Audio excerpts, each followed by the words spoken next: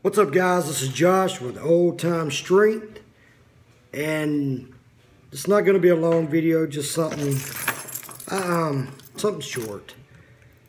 The other day I had someone ask me my thoughts on overtraining and how many days I should I think they should work out a week and how many times they should work out each muscle group. First off, I'm going to start with this. I got my computer beside me, the definition of overtraining. A general term for any practice of or training for a particular sport which is in excess of that necessary to effectively participate in the sport. Overtraining increases the physical stress on specific parts of the musculoskeletal system and increases the risk of injury. True. But a lot of times, people will get out of, let, let me rephrase that. People will try to use over training, overtraining as an excuse to not work to their full potential. Not to work hard. Instead of uh, during your whole workout, you stop midway through, three quarters of the way through.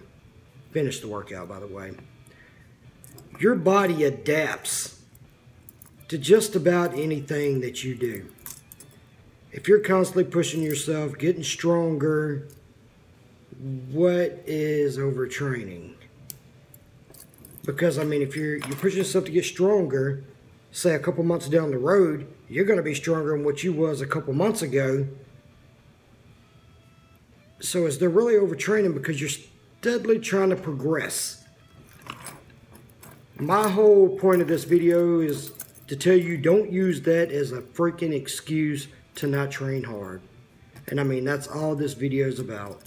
Yes, you can work out three days a week. Yes, you can work out four days a week. Yes, you can work out five days a week. You can work out seven days a week. Know your limits, but push yourself. You have what you call your central nervous system, which is your CNS. And it is like a battery. Rest does help. Make sure you get plenty of sleep, get your uh, proper nutrition, protein, etc. Make sure you get all that in, and the sky's the limit. Keep pushing hard, train hard, don't give up, don't use it as an excuse, and get where you want to be. With that being said, old time strength, baby. Hit me up, Bastrop, Louisiana.